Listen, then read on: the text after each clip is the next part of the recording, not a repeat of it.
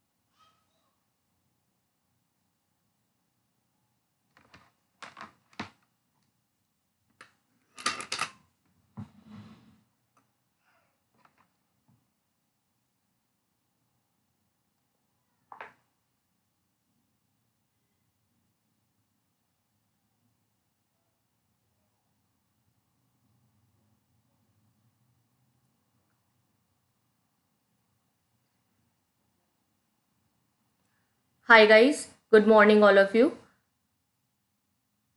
क्या आप मुझे सुन पा रहे हैं और देख पा रहे हैं? आई होप हम लाइव हैं और जस्ट uh, मैं थोड़ा चेक करूँ कि एवरीथिंग इज़ फाइन और नॉट या इट्स गोइंग फाइन एंड सभी लोग आ चुके हैं I can see okay Aryana Sharma always on time great Aryana good and Ananya is also there Okay.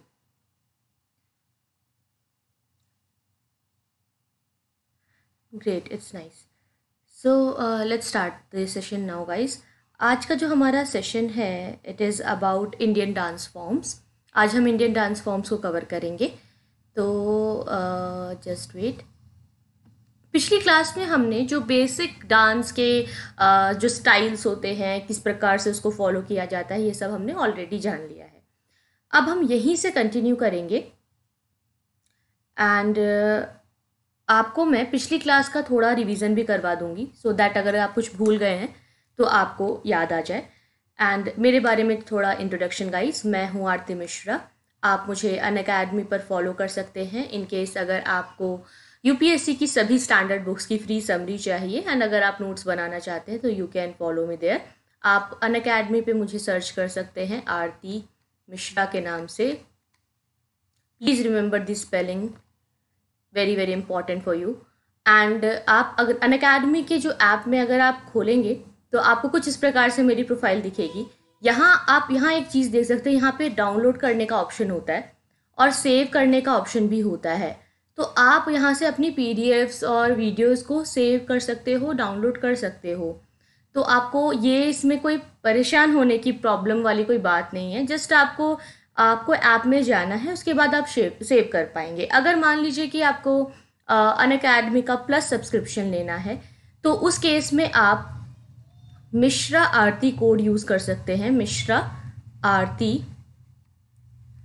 eighteen at the rate of Gmail dot com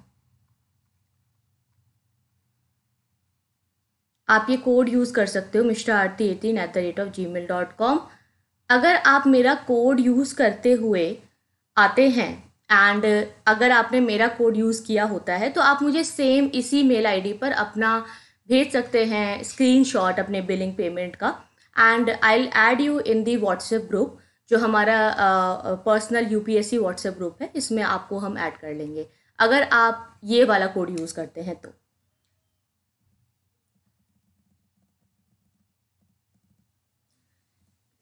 तो अब हम Indian dance forms की अपनी जर्नी शुरू करेंगे। यहाँ हम ये समझेंगे कि आठ क्लासिकल डांस फॉर्म्स हैं बेसिकली और हर एक क्लासिकल डांस फॉर्म में आपको कुछ बेसिक चीज़ें देखने को मिलेंगी। जैसे कि इसमें कुछ एस्पेक्ट्स होते हैं डांस के, उसमें अलग अलग रस होते हैं, श्रृंगार रस, रौद्र रस, विभत्सा रस, जो कि हमने पिछली क्लास में ऑलरेडी कवर कर लिया है। इसके बाद हमने ये समझा था कि इंडियन क्लासिकल डांस फॉर्म जो है इसमें दो चीज़ें होती हैं, लास्य और तांडव। तो गाइज़ बताइए, लास्य में और तांडव में क्या डिफरेंस है? अगर लास्य है तो लास्य का मतलब क्या होता है? What is lasya? And what is tandava? Let me see कि कौन रिवीजन कर रहा है और कौन सही आंसर्स दे रहा है। लास्ट का मतलब क्या है गाइस एंड आप में से जो लोग पिछले सेशंस में नहीं आए हैं, इससे पहले दस सेशंस हो चुके हैं टेन सेशंस दस क्लास हम कर चुके हैं नितिन सिंघानिया की बुक पर। इन केस अगर आपने नहीं देखा है तो आप जाएँ और अन अकेडमी पर सर्च करें, पिछले लेक्चर्स को आपको लेक्चर्स मिल जाएँगे।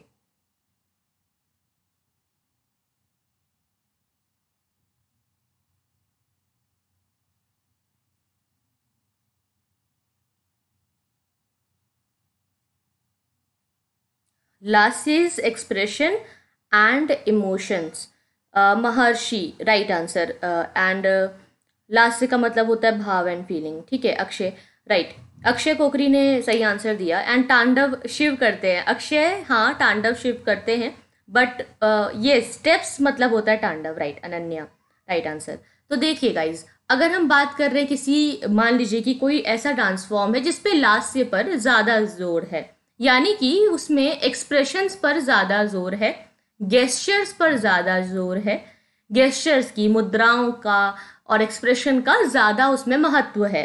लेकिन अगर तांडव है तो तांडव मीन्स वो तांडव मीन्स कि आपकी स्टेप्स की क्लियरिटी कितनी ज़्यादा इंपॉर्टेंट है। तो तांडव इज़ अबाउट स्टेप्स ये आपके स्टेप्स कैसे जा रहे हैं? आपका डांस का फॉर्म क्या है? आप कैसे रिदम में अपने आप को मेंटेन कर रहे हैं? दैट इज़ तांडव। तो तांडव में और लास्य में यही डिफरेंस है। लास्य में आपका जो इमोशन है, उसको आप व्यक्त कर पा रहे हो लास्य की फॉर्म में। और तांडव में जो आप फिजिकली उस चीज़ को करके दिखा रहे हो एज अ डांस स्टेप तो वो तांडव होगा। ये जो इंडियन क्लासिकल डांस फॉर्म है, इसमें हम सबसे पहला जो आज कवर करेंगे दैट इज़ भरतनाट्यम। भरतनाट्यम सबसे ज़्यादा इंपॉर्टेंट सबसे पहले कवर करेंगे। ये जो डांस फॉर्म है, ये एक इंडियन क्लासिकल आर्ट फॉर्म का गुरु शिष्य परंपरा के रूप में चला आ रहा है। गुरु शिष्य परंपरा ये हमें कई जगह पर सुनने को मिलती है। जब भी हम लोग आर्ट एंड कल्चर पढ़ते हैं तो ये गुरु शिष्य परंपरा हम बहुत सुनते हैं। गुरु शिष्य परंपरा का मतलब है कि एक गुरु है, जो कि अपने शिष्य को सिखा रहे हैं एंड देन वो जो शिष्य है, वो खुद गुरु बन जाते हैं एंड देन आगे अपने नए शिष्यों को सिखाते हैं। तो ये गुरु शिष्य परंपरा चलती रहती है। इसके लिए गुरु का होना ज़रूरी है जो कि आपको सिखाएँगे और उन्हीं से आप अपना पूरा ज्ञान लेंगे। प्रेजेंटली अगर हम देखें तो संगीत नाटक अकेडमी है जो कि एग्जिस्ट करती है और इसके अकॉर्डिंगली अगर हम देख रहे हैं तो आठों क्लासिकल डांस फॉर्म्स जो हैं, उसको डिस्क्राइब किया गया है संगीत नाटक अकेडमी के द्वारा। इसमें जो भरतनाट्यम है, वो हम सबसे पहले इसलिए पढ़ रहे हैं क्योंकि भरतनाट्यम सबसे पुराना है oldest Bharatanatyam is oldest Bharatanatyam oldest है among all classical dance forms Bharatanatyam का ये नाम कहाँ से आया? भरत मुनि के नाम से आता है और नाट्यम का मतलब होता है डांस तमिल में नाट्यम को डांस कहते हैं, तमिल भाषा के अंतर्गत। इसका जो ओरिजिन हुआ है इस डांस का, वो हम ये कह सकते हैं कि ये सादिर से किया जा रहा है मतलब कि सोलो डांस परफॉर्मेंस से। Solo dance performance temple dancers जो होती थी देवदासीज इन तमिलनाडु ये परफॉर्म किया करती थी। अब यहाँ पे आप देखिए, जब भी आप भरतनाट्यम आ रहा है तो तमिल आ रहा है, ठीक है, तमिल इज़ देयर तो तमिल में ही ये डांस फॉर्म जो है, यहाँ से स्टार्ट हो रहा है ओरिजिन हो रहा है। तमिल में ही नाट्यम को डांस कहा जाता है, इसीलिए इसका नाम भरतनाट्यम है। तो भरतनाट्यम मतलब तमिल, ऐसे याद रखना है आपको इसमें हम ये कहते हैं कि बहुत पुराने समय से ही जो टेंपल है टेंपल के प्रेमाइसिस में ही डांस हुआ करता था। तो कुछ गर्ल्स थी जो कि टेंपल से अटैच्ड थी और वो ये देवदासी कहलाती थी। ये देवदासी मंदिरों में ही रहा करती थी। उनके अपने कोई फंडामेंटल राइट्स नहीं होते थे। उनको ट्रीट किया जाता था कि वो मंदिर में ही रहेंगी डांस परफॉर्मेंस करेंगी और एक प्रकार से उनको वहीं के वहीं वैसे ही रहना है। और उनको जो है और कोई काम करने का या अपने जीवन में किसी और डायरेक्शन में जाने का अधिकार नहीं होता था। तो ये जो देवदासी की प्रथा है, इसके चलते कई सारी महिलाओं का एक्सप्लॉयटेशन भी हो रहा था। तो उन्होंने फिर इसी चीज़ को देखते हुए सुप्रीम कोर्ट ने अभी देवदासी को बैन कर दिया है। अभी devadasi system is not legal ये बैंड है बिकॉज़ इसके वजह से कई सारी लड़कियों का और महिलाओं का जो है एक्सप्लॉयटेशन हो रहा था। एक्सप्लॉयटेशन होने की वजह से उनके जो है, हम ये देख पा रहे हैं कि उनके कोई भी राइट्स नहीं है मतलब उनको हमेशा टेंपल से अटैच रहना पड़ता था। उनके साथ अब्यूजेस बढ़ते जा रहे थे, इसीलिए उन्हें हटा दिया गया। लेकिन ये जो भरतनाट्यम है, ये निकला यहीं से है। देवदासी प्रथा पहले जो है टेंपल डांसर्स के साथ हुआ करती थी, जो ये अटैच है। इसलिए हम इसको कई बार ये भी कहते हैं कि ये है दाशी आटम क्योंकि देवदासी तो दास से आ गया तो दाशी आटम। यानी कि दाशी जो है, वो उनका डांस, नाट्यम उससे मिल करके दाशी आटम। इसमें एफर्ट किसके थे? ये देखिए, एक बार जो है डांस फॉर्म बहुत पुराना हो गया, होता जा रहा है। तो दोबारा लोगों के सामने उसको लाना और उसको जो है, दोबारा से फ़ेमस करना, बहुत इंपॉर्टेंट था। तो ये एफर्ट किया था ई कृष्णा अय्यर ने, जो कि प्रोमिनेंट फ्रीडम फाइटर भी थे। उन्होंने इस डांस फॉर्म को रिवाइव किया और रुक्मिणी देवी अरुंदले, एक और बहुत ही फ़ेमस प्रोपोनेंट है भरतनाट्यम की, उन्होंने भी इसे आगे बढ़ाया। अर्ली नाइनटीन सेंचुरी में चार डांस टीचर्स आए थंजावुर के, जिन्होंने भरतनाट्यम के एलिमेंट्स को और भी ज़्यादा उभारा और इसको लेकर के उन्होंने अलग अलग स्कूल्स अपने अपने जोन में शुरू किए। तो उन्होंने भरतनाट्यम का जो रिसाइटल एलिमेंट है, वो निकाला। इसमें हम देखते हैं कि एक स्टोरी है जो कि दिखाई जा रही है। कृष्ण भक्ति को कई बार दिखाया जाता है और ईश्वर के साथ जो कनेक्शन है, उसको दिखाया जाता है। अब वो जो चार, वो इंपॉर्टेंट टीचर्स थे, उनका नाम देख लेते हैं। पहले थे alarippu second was jatiswaram third was shabdam and fourth is varnam. इन चारों को देखेंगे हम लोग क्या क्या होता है। देखिए अलारिपू जो है, ये एक इन्वोकेटरी पीस ऑफ़ परफॉर्मेंस होती है, जिसमें कि सिर्फ़ बेसिक डांस स्टेप्स की बात हो रही है और इसमें बस रिदम पर आपको सारे स्टेप्स को टाइमली परफॉर्म करना है और आप वो रिदम इसीलिए परफॉर्म कर रहे हैं, उसके ऊपर इसलिए चल रहे हैं और वो जो बेसिक डांस पॉस्चर्स हैं, वो इसीलिए यूज़ कर रहे हैं ताकि आपको गॉड की ब्लेसिंग्स मिल सके, भगवान की आशीर्वाद मिल सके, भगवान के, इसीलिए। तो ईश्वर के आशीर्वाद के लिए ये कुछ बेसिक डांस पॉस्चर्स हैं, जिनको इंक्लूड किया गया है। ये अला अलारिपू है। ये मतलब कि स्टार्टिंग परफॉर्मेंस का जो बेस है, वो है। तो अगर ये ना हो तो फिर परफॉर्मेंस नहीं हो सकती बिकॉज़ यही बेसिक डांस पॉस्चर्स होते हैं। इसी को फिर आगे जो है, इसी में मॉडरेशन करके, इसी में वेरिएशंस ला करके आगे इसको चेंजेस किए जाते हैं। Second is Jatish Varam. Jatish worm क्या है? ये एक नृत्य कॉम्पोनेंट है। जिसमें कि कोई एक्सप्रेशंस का काम नहीं होता है, बस इसमें अलग अलग पोजेज और मूवमेंट्स का काम होता है। इसके अंतर्गत जो है, यहाँ पर भी स्टेप्स का ज़्यादा ध्यान है। नृत्य का मतलब ही है कि जहाँ स्टेप्स का ज़्यादा ध्यान होता है। तीसरा है शब्दम, यानी कि अब ड्रामा डांस के अंदर ऐड हो गया है। ड्रामेटिक एलिमेंट जो है, अब ऐड हो गया है, उसको वर्ड्स के द्वारा दिखाया जा रहा है। तो जो भी उस टाइम लिरिक्स होते हैं, जो भी उस टाइम वर्ड्स होते हैं उसके अंतर्गत अभिनय करके सॉन्ग का अभिनय करके या आप कहो कि एक्टिंग करके ये दिखाना कि किस प्रकार से वो स्टोरी आगे बढ़ रही है। जनरली ये गॉड की ग्लोरी में या उनके प्रेज में गाया जाता है या किया जाता है। तो मान लीजिए कि कोई ऐसा भजन है, कोई ऐसी स्टोरी है जो कि गॉड की ग्लोरी को दिखा रही है, उनकी प्रेज कर रही है, उनको जो है उनके लिए, उनकी प्रशंसा के लिए की जा रही है। तो ईश्वर की प्रशंसा में ये किया जा रहा है और अभिनय करके उस प्रशंसा को दिखाया जा रहा है कि हम आपकी प्रशंसा कर रहे हैं ताकि हमें गॉड की ब्लेसिंग्स मिल सकें। चौथा है इसमें वर्णम। वर्णम क्या है? ये एक नृत्य कॉम्पोनेंट है। ये जो नृत्य कॉम्पोनेंट है, इसके अंदर डांस और इमोशंस का कॉम्बिनेशन होता है। यानी कि जो डांस है, वो स्टेप्स तो जो हैं एज इट इज़ फॉलो होते ही रहेंगे, लेकिन उसके अंतर्गत अब इमोशंस भी आ गए हैं। यानी कि उसके अंदर अब हम देखेंगे कि जो लोग हैं, वो एक तरीके से क्या करने की कोशिश कर रहे हैं? एक डांसर जो है, वो अपने ऑडियंस से कनेक्ट होने की कोशिश कर रहा है और अपने ऑडियंस को अपने डांस में कनेक्ट करने की कोशिश कर रहा है। और अगर ये ना हो तो डांस अधूरा है। अदरवाइज़ जो ऑडियंस है, वो आपके साथ कनेक्टेड फील नहीं कर रही। आपकी जो ऑडियंस है, उनको भी वो फील होना चाहिए कि जो आपका फीलिंग है और जो आप प्रेज कर रहे हैं, जो ग्लोरी की बात हो रही है, वो समझे। तो इसके द्वारा क्या किया जा रहा है? कॉम्बिनेशन किया जा रहा है of dance and emotion and ये बहुत ही इंपॉर्टेंट या आप कहो कि मोस्ट इंपॉर्टेंट पार्ट है होल परफॉर्मेंस का। क्योंकि ये क्या कर रहा है? ये सिंक्रोनाइज कर रहा है ताल और राग को, ताकि स्टोरी अच्छे से एक्सप्रेस हो सके। यानी कि जो भी राग है, जिसमें कि गाया जा रहा है और जो भी गीत है, उसकी ताल, यानी कि उसका रिदम ठीक बैठ रहा है और उस रिदम के अकॉर्डिंगली आपने डांस किया, उसके स्टेप्स फॉलो किए और साथ में उसमें अपने इमोशंस का कॉम्बिनेशन किया। अब जाके वो क्या होगी, वो जो स्टोरी है, वो अच्छे से एक्सप्रेस हो पाएगी। अच्छे से अब वो जो स्टोरी है, वो एक्सप्रेस हो पाएगी और वो जो स्टोरी है, वो लोगों तक पहुँच पाएगी। फिर आता है पदम। पदम क्या है? पदम ये है कि भाई, अभिनय के ऊपर एक्सप्रेशन के ऊपर पूरी मास्टरी ये एक तरीके से कोशिश ये की जाती है कि जो म्यूज़िक है इस टाइम में लाइट हो जाए म्यूज़िक का कम इस पर एम्फेसिस रहेगा और डांस का ज़्यादा। तो डांस जो है वो और भी ज़्यादा इमोशनल हो जाता है डांस और भी ज़्यादा देख करके जो एक्सप्रेशंस होते हैं वो और भी ज़्यादा हाईलाइट हो जाते हैं। तो अभिनय एक्सप्रेशन जो है वो मास्टरी है मास्टरी ओवर द अभिनय।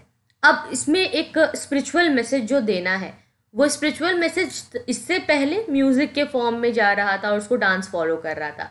बट अभी वो जो स्पिरिचुअल मैसेज जा रहा है, वो अभिनय के फॉर्म में, या हम कह सकते हैं कि डांस के फॉर्म में जा रहा है।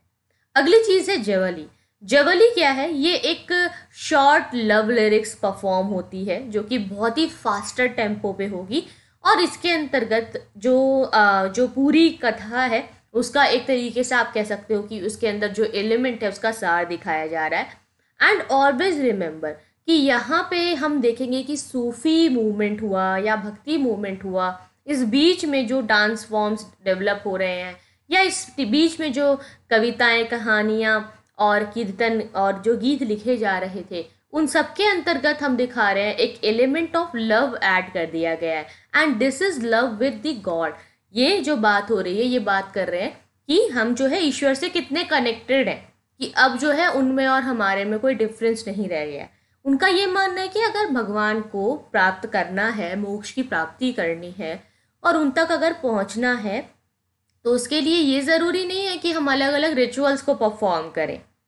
इसके लिए ये ज़रूरी नहीं है, बल्कि हम ईश्वर से इतना प्रेम करते हैं, और वो ईश्वर हमसे इतना प्रेम करता है कि हम उससे कनेक्ट होने के लिए सिर्फ़ हमें एक ही चीज़ की ज़रूरत है एंड दैट इज़ श्रद्धा डिवोशन अगर वो है तो बाकी सब चीज़ें जो हैं, और जो चीज़ें हैं, वो सेकेंडरी है. मतलब प्राइमरी ये है कि श्रद्धा होनी चाहिए डिवोशन होना चाहिए.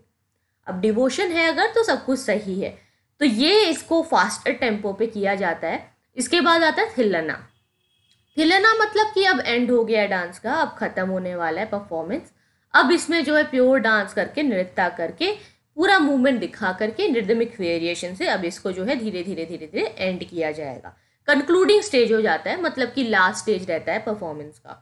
तो ऐसे आपसे क्वेश्चन पूछा जा सकता है कि भरतनाट्यम के कल कंक्लूडिंग स्टेज को क्या कहा जाता है? इसे क्या बोलते हैं? तो आपको पता चलना चाहिए कि इसको थिल्लना बोलते हैं, जो कि कंक्लूडिंग स्टेज है। इसके अंतर्गत हम देखते हैं कि इंट्रीग्रेट रिदमिक वेरिएशन हमें देखने को मिलते हैं। और इस प्रकार से जो डांस फॉर्म है, वो कंप्लीट होता है। ये हुआ Indian classical dance form Bharatanatyam के बारे में। अब इसके अंदर मैं जो चार थंजा, वो टीचर्स आपको बता रही थी, जो थंजो और क्वार्टेट कहलाते हैं, उनका नाम हम देख लेते हैं। उनका नाम था चिनिया, पोनिया वेलू एंड शिवनंतम ये बहुत ही इंपॉर्टेंट है, चिनिया, पोनिया वादी वेलू एंड शिवनंदम। क्योंकि इनके अंतर्गत ही पहली बार हमने देखा कि एक जो डांस फॉर्म अब तक होता चला जा रहा है, वो वापस हाईलाइट हो गया।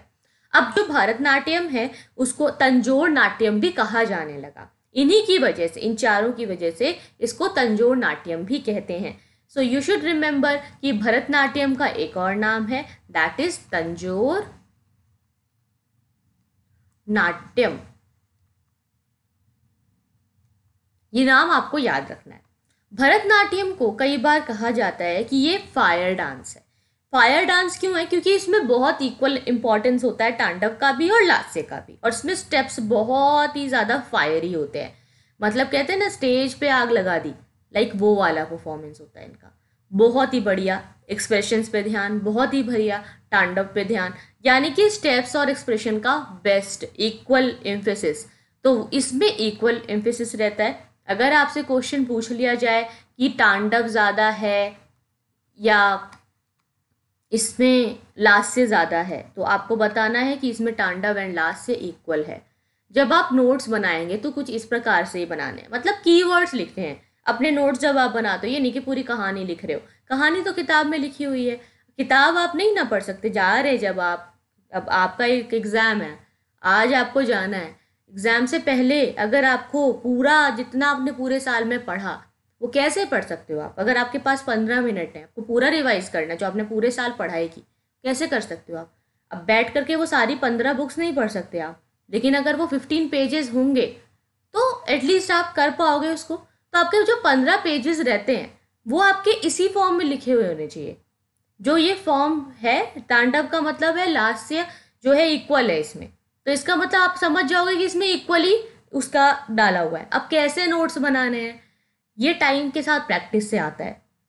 सोचोगे जितना, उतनी वो चीज़ मुश्किल लगती जाएगी। आप बनाना शुरू कर दोगे तो आसान लगेगा। और अगर नहीं बनाना आ रहा है आपको, नहीं समझ में आ रहा है, आपको लगता है कि जब आप नोट्स बनाते हो तो सब कुछ लिख के डाल देते हो, पूरा लिखा हुआ रहता है फिर तो फिर आप समझ लो कि इसका मतलब आपको और पढ़ने की ज़रूरत है, और ज़्यादा प्रैक्टिस करने की ज़रूरत है। जितना बार आप रिवाइज कर रहे हो, तीन से चार बार रिवाइज कर लिया, फिर नोट्स बनाए तो ठीक है। मतलब एक दो बार पढ़ के नोट्स बनाने का कोई फ़ायदा होता नहीं।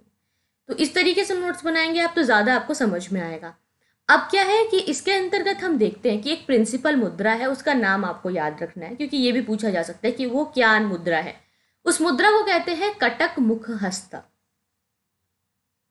ये मुद्रा है जो प्रिंसिपल मुद्रा है। इसमें हम देखते हैं कि नीज का बहुत ज़्यादा ध्यान रहता है, कि नीज हमेशा घुटने जो है वो मोस्टली बेंट रहते हैं, मुड़े रहते हैं। और वेट जो है, वो दोनों ही पैरों पर इक्वली डिस्ट्रीब्यूटेड रहता है। इक्वली डिस्ट्रीब्यूटेड बट ऐसा हर डांस फॉर्म में नहीं होता। कई कई डांस फॉर्म ऐसे होते हैं जिसमें एक पैर पर ज़्यादा ज़ोर रहता है, दूसरे पैर पे कम ज़ोर रहता है, पर इसमें इक्वल डिस्ट्रीब्यूशन रहता है। इसको जो है, इसको हम ये भी कहते हैं कि यह है एक चर्य लास्यम यानी कि एक ही डांसर जो है, सारे रोल डिफरेंट रोल्स प्ले कर रहा है। मतलब कि मान लीजिए कि एक जो है सोलो परफॉर्मर है। जब वो कृष्ण के बारे में बता रहा है तो कृष्ण के रूप में बता रहा है, उनका इमोशन उनका एक्सप्रेशन यूज़ करेगा। और उसके बाद कृष्ण की अगर वो राधा के साथ, अगर उनकी फ्रेंडशिप के बारे में, उनके लव के बारे में, उनके डिवोशन के बारे में या उनके अटैचमेंट के बारे में बताने की कोशिश कर रहा है तो राधा का रोल भी वो खुद ही प्ले कर रहा है। वो दोनों का रोल प्ले कर रहा है। जस्ट उसके क्या चेंजेस हो रहे हैं? एक्सप्रेशन चेंज हो रहे हैं, उसके मूवमेंट चेंज हो रहे हैं, उसके गेस्टर्स चेंज हो जाएँगे, उनके स्टेप्स थोड़े से चेंज हो जाएँगे। बाकी सब चीज़ें वही रहेंगी परफॉर्मर वही है, एक ही डांसर है जो कि अलग अलग रोल्स को परफॉर्म कर रहा है। तो उसी को कहते हैं एक चर्य लास्यम। तो यहाँ हमें क्या क्या याद रखना है? अगर आपका कीवर्ड देखा जाए तो भरतनाट्यम का क्या क्या कीवर्ड हुआ? एक चर्य लास्यम कटक मुख हस्त इक्वल एम्फेसिस है तांडव और डांसे पर। इसे फायर डांस भी कहते हैं। इसे तंजोर नाट्यम के नाम से भी जाना जाता है बिकॉज़ तंजोर के टीचर्स की वजह से थंजावुर के जो टीचर्स थे उन्होंने ही इसको बढ़ाया इसीलिए। इसके अलावा आपको ये ध्यान रखना है कि इसके अंदर बहुत ही अच्छा आ, मतलब एक सीक्वेंस है जो फॉलो होता है। शुरुआत होती है अला रिप्पू से और इसका थिल्लाना जो है वो कंक्लूडिंग स्टेज है जिसमें कि प्योर डांस के साथ इसको एंड किया जाता है। अगर इतने सारे स्टेप्स अगर मान लो कि आपको याद ना रहे लाइक अला रिपू है देन जातिस वर्म वरम है देन शब्दम, वर्णम, पदम और जवली, थिल्लना, इतना ज़्यादा अगर नहीं आप याद कर पाते हो तो भी एक बार को ये इतना इंपॉर्टेंट नहीं है, क्योंकि ये जस्ट डांस को फॉलो करते हुए स्टेप्स बता रहा है कि कैसे कैसे परफॉर्मेंस आगे बढ़ती है। बट ये पार्ट आप नहीं भूल सकते हो, क्योंकि ये पार्ट बहुत इंपॉर्टेंट है, यही इसका बेस है। अगर क्वेश्चन आएँगे तो ज़्यादा क्वेश्चन ऐसे ही आएँगे। कि इसका और क्या क्या नाम है और कैसे कैसे इसको जाना जाता है। एक डांस फॉर्म हमारा कवर हुआ। अब हम बात करेंगे अगले डांस फॉर्म की, जिसे कुचिपुड़ी कहते हैं। कुचिपुड़ी जो है, ये गाँव से गाँव घूम घूम करके कुछ लोग होते थे, जो कि आर्टिस्ट घूमते थे और अलग अलग जगह जा करके ये इसको परफॉर्म किया करते थे। तो इसके बारे में हम जानेंगे कि ये कैसे कैसे आगे बढ़ा और कैसे ये खो गया, फिर दोबारा इसको वापस लाया गया। ओरिजिनली ये कुछ ग्रुप ऑफ़ एक्टर्स होते हैं, जो कि गाँव से गाँव ट्रैवल करते ही रहते हैं। अब ये जो ग्रुप ऑफ़ एक्टर्स हैं, जो कि एक गाँव से दूसरे गाँव, फिर एक जगह से दूसरी जगह भटकते रहते हैं, इनको क्या कहा जाता है? उनको कहा जाता है गुस्से लवाज गुस्से लवाज यहाँ मैं लिख देती हूँ।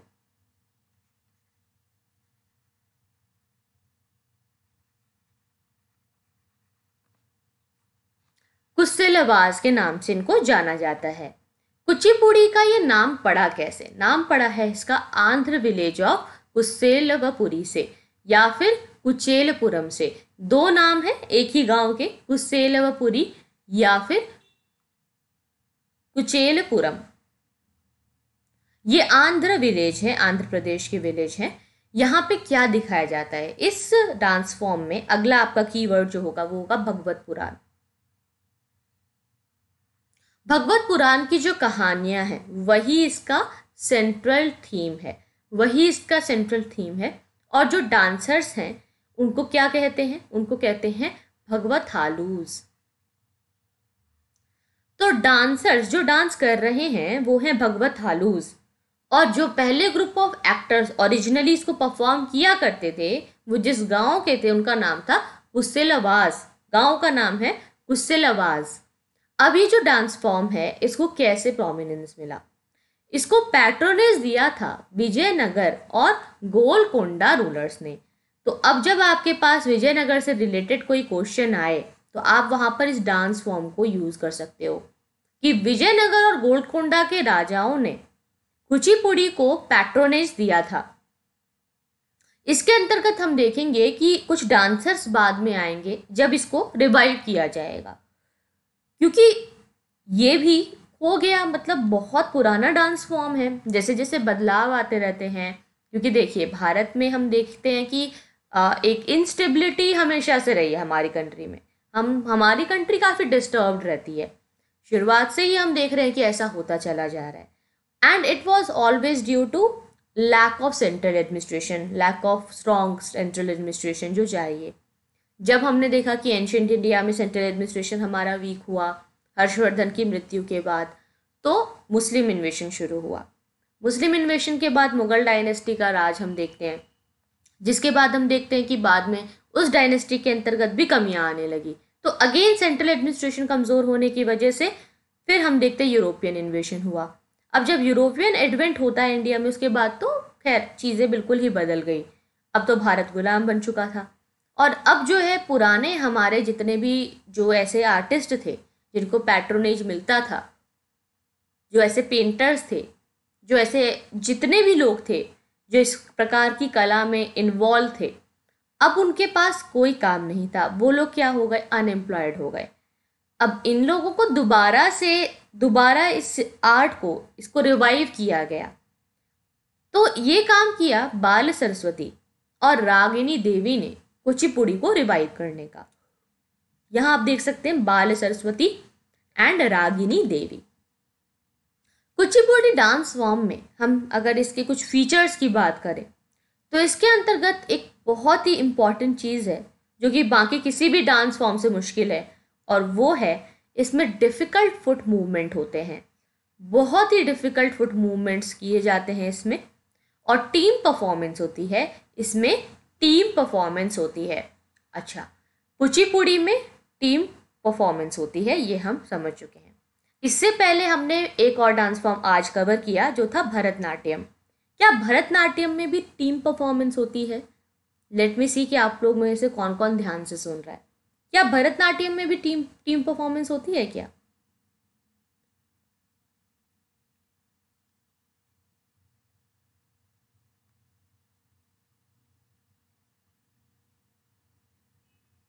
जोहेब खान, आपने क्वेश्चन पूछा है कि क्या टांड तांडव हमेशा एंगर का ही एक्सप्रेशन होता है? ऑलवेज नो एंगर का इससे कोई लेना देना नहीं है। इसका सिर्फ़ डांस फॉर्म से लेना देना है। मिन्नी, आपने रॉन्ग आंसर दिया है। आपने बोला yes but you are wrong Minni. आप तो ध्यान से सुनते थे मिन्नी, आज आपको क्या हो गया?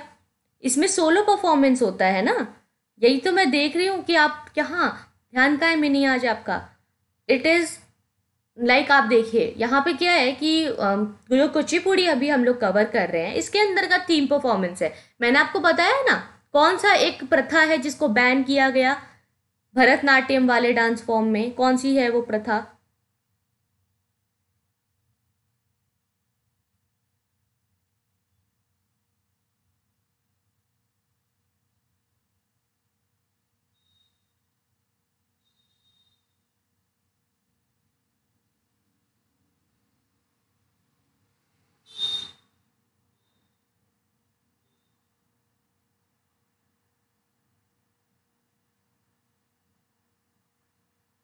Bharatanatyam is solo performance only Perumalla Rupesh, आप पूछ रहे हो कि भरतनाट्यम क्या है? हाँ. यस देवदासी प्रथा राइट अभी मम्मी नहीं, आपको याद आ गया? चलो, अच्छी बात है. ठीक है. ओके अब हम समझ चुके हैं कि भरतनाट्यम जो है वो सोलो परफॉर्मेंस थी, जो कि शुरू कैसे हुई थी? देवदासी प्रथा के साथ. देवदासी, और ये तमिल में चलता था. तो तमिल की देवदासी प्रथा के अकॉर्डिंगली ये चल रहा था तो इसमें तो सोलो परफॉर्मेंस होती है, लेकिन कुचिपुड़ी में नहीं होती है, ठीक है? कुचिपुड़ी में सोलो परफॉर्मेंस नहीं होती है। ये कैसे आप याद रखोगे? देखो, भरतनाट्यम, यहाँ पे अगर इसकी आप स्पेलिंग देखें तो तमिल तमिल जैसा सुनने को लगता ही है। जैसे भरतनाट्यम अगर आप सुनोगे, देखो इसमें टी दो बार आ रहा है और एम भी आ रहा है। तो तमिल से मिलता जुलता लग रहा है है ना? टी और एम तमिल में आ रहा है, भरतनाट्यम भरतनाट्यम, म, त बार बार आ रहा है, त, म मतलब हम समझ रहे तमिल से, जैसे जैसे सुनने को लगता है इसका, अगर आप सुनो तो। तो इससे समझ सकते कि भरतनाट्यम जो है तमिल से आ रहा है एंड ये सबसे पुराना ओल्डेस्ट है मतलब सबसे पुराना डांस फॉर्म है, और तमिल से ओरिजिनेट हुआ है। अगर आपको पता हो तो तमिल में सब कुछ बहुत पुराना पुराना है। है ना? संस्कृत लैंग्वेज का प्रयोग करना और एलिट लोगों की भाषा होना। अभी भी वहाँ पे लोग संस्कृत बोलते हैं इवन आज भी आप देखेंगे कि तमिल ब्राह्मण जो होते हैं, वो लोग कई बार आप सुनेंगे उनको कि वो संस्कृत भाषा का प्रयोग करते हैं। आज भी वहाँ पे कई कई ऐसे ट्राइबल ग्रुप है जिनमें सिर्फ़ संस्कृत ही बोली जाती है। तो बहुत ही पुराना, जब भी तमिल आ रहा है कहीं पे तो समझ लो कि ओल्डेस्ट है। समझ लो कि ओल्डेस्ट है। तमिल आ रहा है तो मतलब ओल्डेस्ट ही समझ लो आप। अब देखो, भरतनाट्यम में त आ रहा तमिल आ रहा ओल्डेस्ट है, पुराना है, और हमेशा यहाँ पर सोलो परफॉर्मेंस हो रही है सोलो ठीक है? और कुचिपुड़ी में सोलो परफॉर्मेंस हो ही नहीं सकती है, क्यों? क्योंकि देखो पूड़ियाँ हम कब बनाते हैं हमारे घर में? जब गेस्ट आते हैं तो हम लोग पूड़ी बनाते हैं ना। हम लोग अगर अकेले खुद आपको खाना खाना हो, बनाना हो तो आप पूड़ी थोड़ी ना बना के खाओगे। आप क्या करोगे? मैगी बना लोगे, घर में कोई नहीं है तो आप क्या करोगे? आप जल्दीबाजी में क्या करोगे? मैगी बना के खा लोगे, दूध पियोगे कैसे जैसे चल जाएगा आपका। बट अगर कोई बाहर से आ रहा है गेस्ट आ रहा है तो पूड़ी बनाते हैं। तो पूड़ी तभी बनाते हैं जब बहुत सारे लोग हों टीम हो पूरी, खाने के लिए। तो पूड़ी बनेगी। तो कुची पूड़ी मतलब कि जब बहुत सारे लोग होंगे तो कुची पूड़ी से ऐसे याद रखो। हम लोग कुलचा पूड़ी ये सब कुछ कुछ बनाते हैं ना, जब कोई बाहर से कुछ आता है तो कोई हमारे घर में हम लोग जब गेस्ट आते हैं तो पूड़ी ज़्यादा बनाते हैं। ज़्यादातर मतलब नॉर्थ इंडिया में ये चलता है कि अच्छा हम पूड़ी बनाएँगे, कोई आएगा या कोई भोग लगाना होता है भगवान को, कोई फेस्टिवल होता है तो पूड़ी बनाते हैं। रोटी का भोग नहीं लगाते हैं, है ना? ऐसे याद रखो पूड़ी मतलब कि कुछ ऐसा जो टीम वर्क वाला होगा, जो सब लोग मिल करके खाएँगे, सब लोग मिल करके एंजॉय करेंगे। तो इसमें जब भी डांस परफॉर्मेंस होगी तो सोलो नहीं होगी टीम परफॉर्मेंस होगी और इसमें डिफ़िकल्ट फुट मूवमेंट होंगे। ये कैसे याद रखोगे? अब ज़्यादा लोग आ जाते हैं तो मम्मी खाना बनाती है पूड़ी बनाएँगी। तो इतने सारे लोगों के लिए पूड़ी बनाएँगी तो पैर दर्द हो जाएगा ना खड़े खड़े तो डिफ़िकल्ट फुट मूवमेंट हो गया। समझ रहे हो? डिफ़िकल्ट फुट मूवमेंट हो जाएगा। कुच्ची पूड़ी इतनी सारी पूड़ी बनाएँगी तो थक जाएँगी डिफ़िकल्ट फुट मूवमेंट हो जाएगा। तो मम्मी थक गई हैं बहुत ज़्यादा। डिफ़िकल्ट फुट मूवमेंट हो गया। सुबह से चल रही है यहाँ वहाँ। पूड़ी बनाना है इतने सारे लोग आ रहे हैं। क्योंकि टीम परफॉर्मेंस करनी है। तो इसीलिए, ऐसे करके याद रखना कि इसमें दो चीज़ें आपको हमेशा लर्न करके चलनी है। कुचिपुड़ी मतलब difficult foot movement and team performance अगर प्रीलिम्स में क्वेश्चन आएगा कंपैरिजन का कि what is the difference between Kuchipudi and Bharatanatyam? या कैसे भरतनाट्यम अलग है कुचिपुड़ी अलग है? या कुचिपुड़ी पे क्या फीचर क्या है? What is the feature of Kuchipudi तो difficult foot movement and team performance ये कुचिपुड़ी का जो है मेन इसका फीचर होता है। ठीक। अच्छा अब जो है इसके अंतर्गत भगवत पुराण को मतलब माना जाता है और सेकुलर थीम रहता है। इसके अंदर हम देखेंगे कि ज़्यादा जो ध्यान रहता है, श्रृंगार रस का होता है। अगेन श्रृंगार रस। कब श्रृंगार ज़्यादा करते हैं? जब हमें बाहर जाना होता है, कोई आ रहा होता है, तभी श्रृंगार करेंगे ना। आप घर में थोड़ी ना आप पड़े रहोगे तो श्रृंगार करके सोओगे। और सर्दी के मौसम में तो आप नहाते भी नहीं हो तो श्रृंगार क्या करोगे? तो श्रृंगार रस क्या? मतलब कि जब बहुत सारे लोग आ रहे हैं पूड़ी बन रही है, मम्मी का बहुत ज़्यादा काम बढ़ गया डिफ़िकल्ट फ़ूड मूवमेंट हो रहा है, श्रृंगार रस करना पड़ रहा है, श्रृंगार करना पड़ेगा, इसीलिए। तो कुची पूड़ी का मतलब समझ के रखना है कि श्रृंगार रस difficult foot movement team performance और ये भगवत पुराण की कहानियों के ऊपर बेस्ड होती है। ठीक है? ऐसे भी समझ सकते हो, भगवत पुराण मतलब भगवत पूजा वूजा करते हैं तो कैसे पूड़ी वूड़ी बनाते लोग आ जाते हैं, बहुत सारा काम होता है। हम लोगों के घर में जब भी पूजा रखवाते हैं, कितने सारे लोग आ जाते हैं। तो उसमें कितना सारा काम हो जाता है।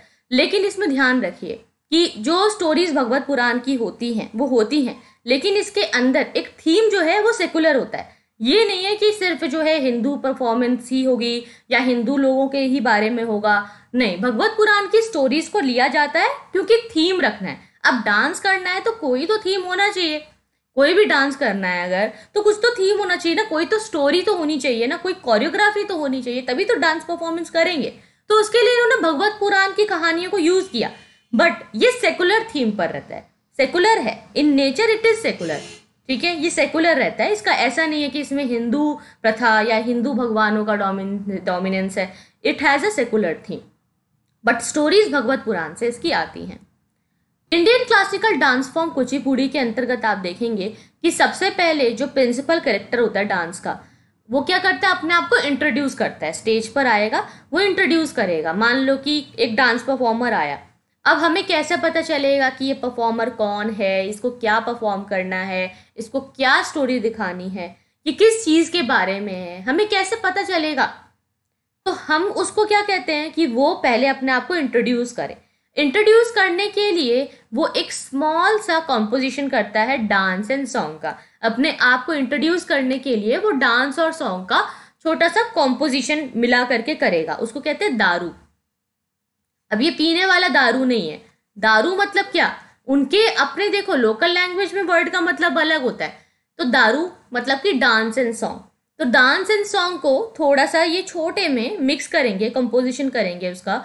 और उसको इंट्रोड्यूस करने के लिए यूज़ करेंगे। हर एक प्रिंसिपल करेक्टर आएगा, जैसे मान लो चार करेक्टर्स हैं। अब चारों आएँगे एक एक करके वो क्या करेंगे? स्टेज पर आएँगे, अपने आप को इंट्रोड्यूस करेंगे डांस करके सॉन्ग गा करके, और वो उसको जो छोटी सी उनकी परफॉर्मेंस होती है, वो स्मॉल जो परफॉर्मेंस होती है, उसको हम दारू कहते हैं। अब जो डांस है, इसके अंदर तीन जो है कंपोनेंट तीनों के तीनों रहते हैं। नृत्य भी है, नृत्य भी है, नाट्य भी है। मतलब इमोशंस डांस एक्सप्रेशन सब कुछ मिक्स हुआ हुआ है। बाकी सारे इसके फीचर वैसे ही हैं, जैसे भरतनाट्यम के थे। बट इसमें जो परफॉर्मेंस होती है, इसके अंदर आप देखेंगे कि जो नृत्य पार्ट होता है, जहाँ पे बॉडी का जो मूवमेंट है, वो किया जाता है, उसको सोलक सोलकथ या फिर पदाक्षर कहते हैं। इसमें फिर आता है काबुत्वंश काबुत्वंश का मतलब होता है जब डांस किया जा रहा है। इसमें हम बहुत ज़्यादा देखते हैं एक्सटेंसिव एक्रोबैटिक्स स्टेप्स का भी कई बार यूज़ किया जाता है। और इसमें नृत्य में मतलब जो प्योर डांस है, वो किया जाता है।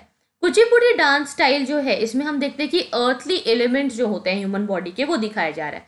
कुचिपुड़ी में हम ये भी देखते हैं कि जो डांस पर डांसर है, उसके अंदर हम देखते हैं कि कई बार वो खुद ही गाना भी गाते हैं, खुद ही डांस भी कर रहे हैं। हर सेल्फ मतलब सब कुछ कर रहे हैं। सिंगिंग भी वो खुद ही कर लेते हैं डांसिंग भी वो खुद ही कर लेते हैं। तो ये क्या बन जाता है? डांस ड्रामा परफॉर्मेंस बन जाता है। मतलब वो गा भी रहे हैं डांस भी कर रहे हैं। परफॉर्मेंस के साथ साथ वो एक्सप्रेशन भी दे रहे हैं सब कुछ।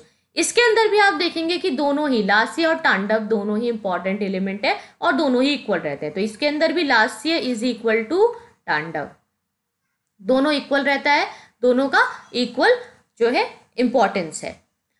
अब देखिए, जब ग्रुप परफॉर्मेंस होती है तो हम क्या देखते हैं कि कुछ कुछ ऐसे भी पॉपुलर सोलो एलिमेंट्स हैं कुचिपुड़ू, कुचिपुड़ी के, जो कि परफॉर्म किए जाते हैं। इसका जो है, उसमें सबसे पहले आता है मंडुक शब्दम।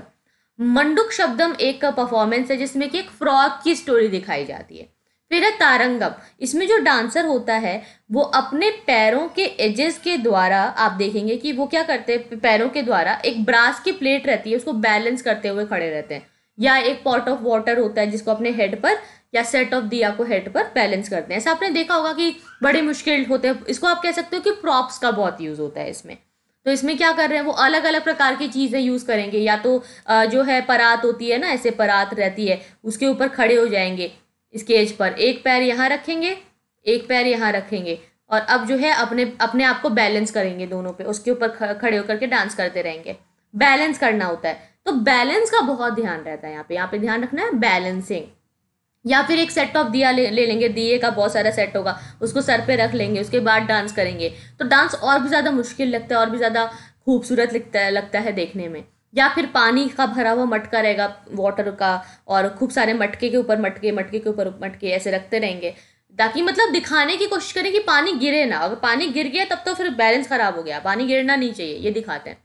इसके बाद एक और चीज़ होती है जल चित्र नाट्यम। इसके अंतर्गत क्या होता है? इसमें एक डांसर है, जब वो डांस करता रहता है तो वो एक फुल फ्लोर पर एक पिक्चर ड्रॉ करती रहती है। ऐसे कैसे होता है कि जैसे कि लाइक मैंने एक साउथ इंडियन मूवी देखी थी। साउथ इंडियन मूवी में तो क्या होता है कि बहुत ही अनरियल सा एक्शन वैक्शन कुछ भी दिखाते रहते हैं। तो तब मैंने मतलब देखी थी तो मूवी में क्या दिखाया कि एक हीरो है जो अपनी हीरोइन को इम्प्रेस करना चाह रहा है। तो इम्प्रेस करने के लिए उसने क्या किया? हीरो ने डांस किया उसके लिए। तो डांस जब किया तो उसने डांस करने से पहले क्या किया? खूब सारा सारा फ्लोर पर रंगोली होती है या कलर्स होते हैं या आप कह लो गुलाल वगैरह होता है। और पूरा गुलाल जो है पूरे बिखेर दिया, पूरे फ्लोर पर गुलाल छीट दिया है। अब हर जगह पूरा गुलाल जो है, पूरा छिटा हुआ है, बिखरा हुआ है। अब वो उसके ऊपर डांस करना शुरू करता है। तो जब वो डांस करता है तो उसके पैरों से वो ऐसे वो कुछ इस प्रकार के स्टेप्स कर ही रहा है कि पैरों से डांस करते करते वो क्या कर रहा है? उसके पैरों से रंगोली भी बनती जा रही है कुछ कुछ बनता जा रहा है, कुछ ड्राइंग बनती जा रही है।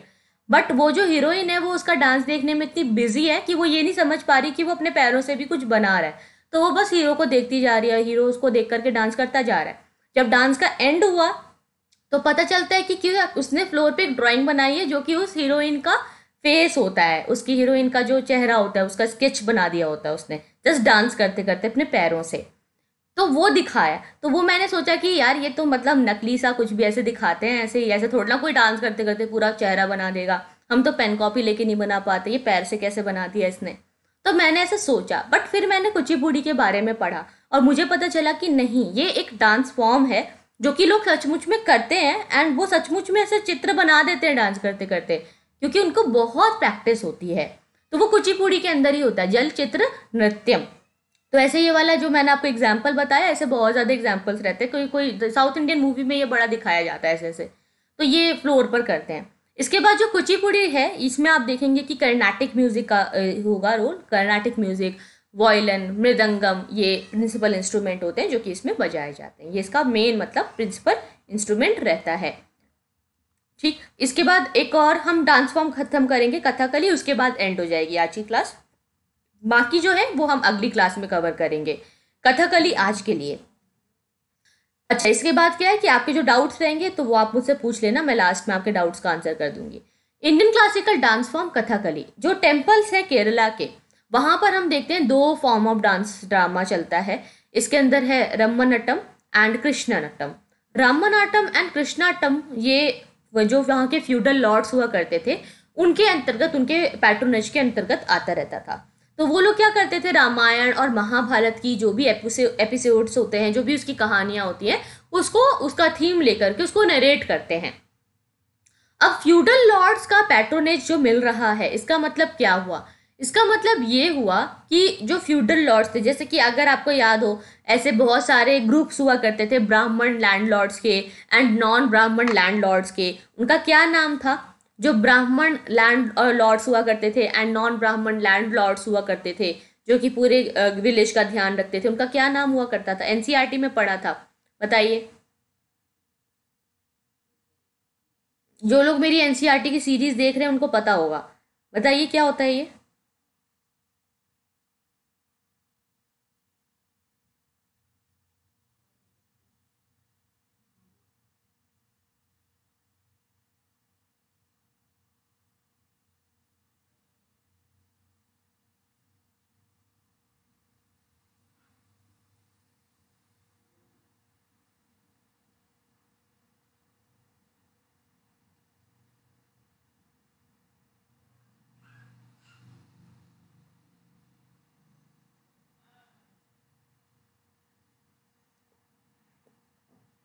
सामंत तो ठीक है हिमांशी। वो तो सामंत तो फ्यूडल लॉर्ड्स को कहते हैं, बट उनके ग्रुप का एक नाम होता है। एनसीईआरटी की सीरीज़ कहाँ से देखनी है? सिंपल बताया ना आपको मैंने कहाँ से देखना है। अगर आपको ऑनलाइन देखना है फ्री में पूरा एनसीईआरटी का, सारे बुक्स का सीरीज़ तो उसके लिए आप मेरे को फॉलो कर सकते हैं अकेडमी के लर्निंग ऐप पर। ऐप में आपको सर्च करना है, मेरा नाम आरती मिश्रा। और वहाँ पे आप देखोगे कि मैंने पॉलिटी, हिस्ट्री, इन सब की एनसीईआरटी बनाई हुई है, पॉलिटी की, हिस्ट्री की, ठीक है, वहाँ से आप देख सकते हो। और बाकी जितनी भी स्टैंडर्ड बुक्स होती है like Laxmikant, Shankar I S, Norman Leo, Ramesh Singh, R S Sharma G C Leong ये सब जितनी भी बुक्स आपको पढ़नी होती है ना यूपीएससी के लिए, इन सब की समरी आपको वहीं पे मिलेगी। नाम सर्च करना है आपको आरती मिश्रा। अभी तक तो नहीं आया है। एक मिनट। अच्छा गाइज़ आपने ये सुना है कहीं पे उर।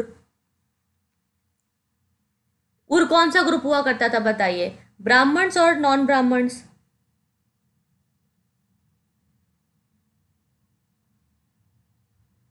yes technical corner by Abhishek आपने एक आंसर दिया है Ur and Sabha very good Manali Keshav Kesharwani and Tannu Pritam yes right ठीक है, चलो, समझ गए हम लोग.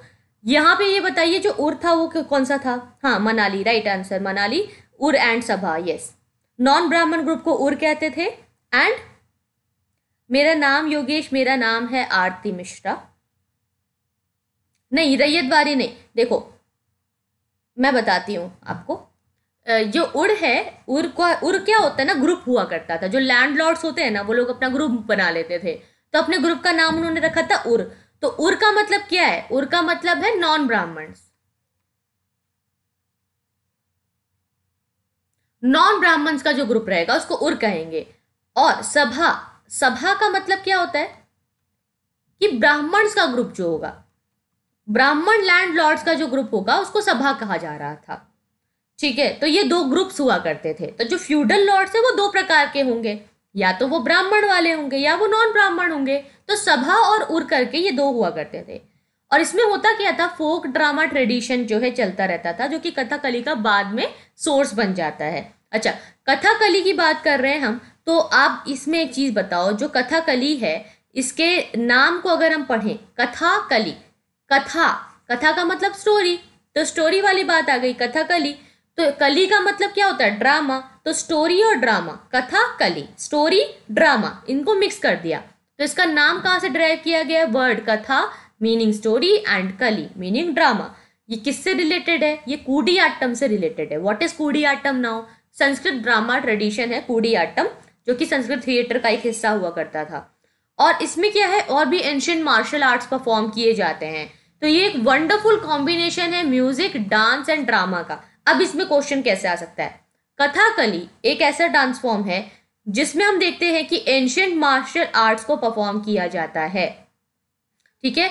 अब आप मुझे ये बताइए कि और कौन सा डांस फॉर्म था जिसमें मार्शल आर्ट्स को परफॉर्म किया जाता था? ये हमने पिछले वाले से पिछली क्लास में कवर किया था मार्शल आर्ट्स की परफॉर्मेंस कौन से कौन से और दूसरे डांस फॉर्म फॉर्म में होती है?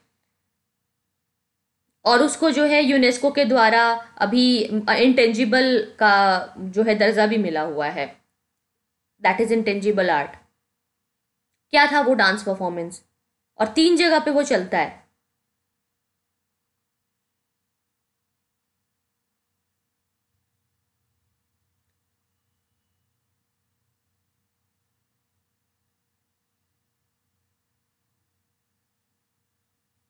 हाँ कुचिपुड़ी तो हो गया, देखो, कुचिपुड़ी जो है, वो तो हो गया।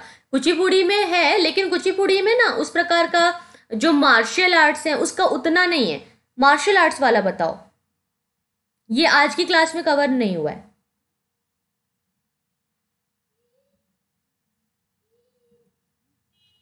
ध्यान रखिए गाइस आपको एक चीज़ में डाउट आ गया है। अभी मेरे को जैसे कि आपका मैं कमेंट देख रही हूँ, तन्नू, अंकित, अनमोल, अक्षय, सुमन।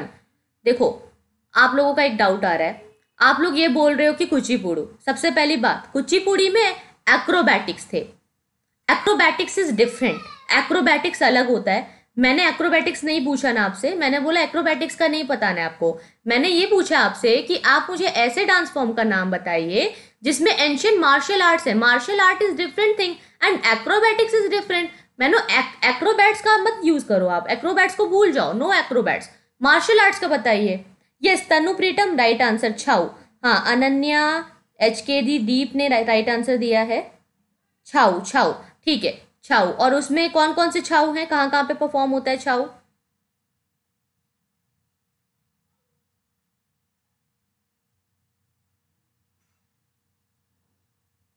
सत्तरिया, नहीं नहीं। आप बताओ छाऊ थी थ्री टाइप थ्री है, तीन है उसमें। मयूरभंज छाऊ, कुछ याद करो, ऐसे ऐसा कुछ पढ़ाया था आपको मैंने। अलग अलग जगह चलता है।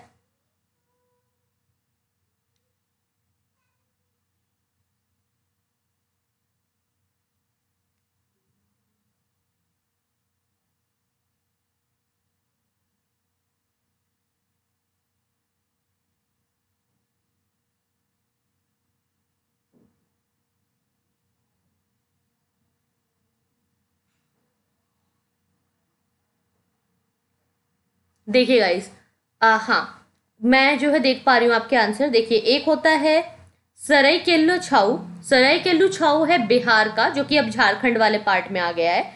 Seraikela Chhau. Second is Mayurbhanj Chhau. And third is Purulia Chhau, जो कि वेस्ट बंगाल का है। इसमें यहाँ पे मैं लिख के देख देती, लिख के आपको बता देती हूँ।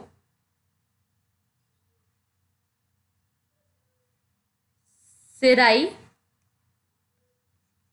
केला, छाऊ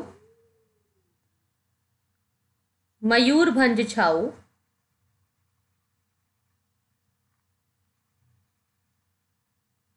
एंड पेरल्यू छाऊ।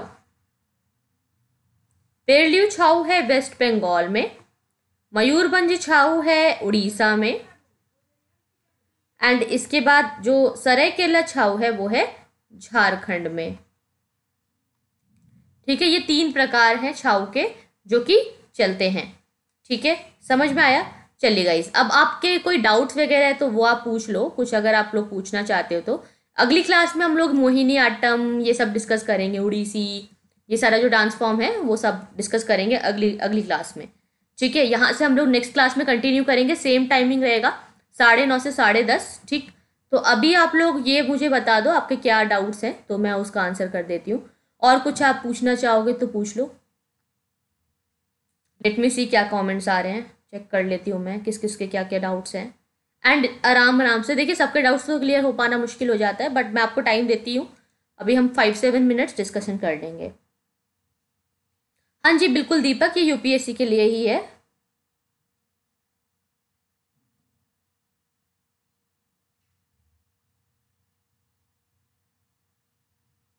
हाँ अरे आर्यना शर्मा ने राइट आंसर दिया था, मयूरभंज, सरायकेला एंड पेड़ छाऊ। राइट आर्यना। ठीक है।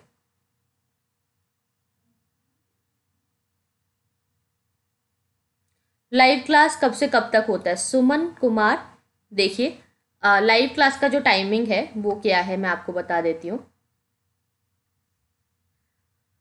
हम रोज़ सुबह साढ़े नौ से साढ़े दस मिलते हैं, ये टाइम है, जो मेरी लाइव क्लास का टाइम है यूट्यूब पर। इसी चैनल पर, यहीं पर, इसी जगह यूट्यूब पर आपको देखना है।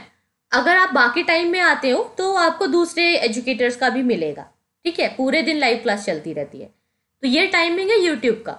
अगर आपको इसके जगह पर सब्सक्रिप्शन वाला लेना है तो अन अकेडमी का अगर आप सब्सक्रिप्शन लेते हो, अगर आपको पूरा जीएस का मतलब प्रिपरेशन करनी है तो गाइज़ अगर आपको छः महीने का महँगा लगता है तो आप छः महीने का मत लो, एक महीने का ले लो। एक महीने का लोगे तो आपको सिक्स थाउज़ेंड सेवन हंड्रेड का पड़ेगा ये। सिक्स थाउज़ेंड सेवन हंड्रेड में आपके पूरा मतलब यूपीएससी के जितने भी सब्जेक्ट्स है ऑप्शनल सी सैट सबका आपको मिल जाएगा। तो आप वन मंथ का ले लो। अगर आपको पसंद आए तो आगे कंटिन्यू कीजिए।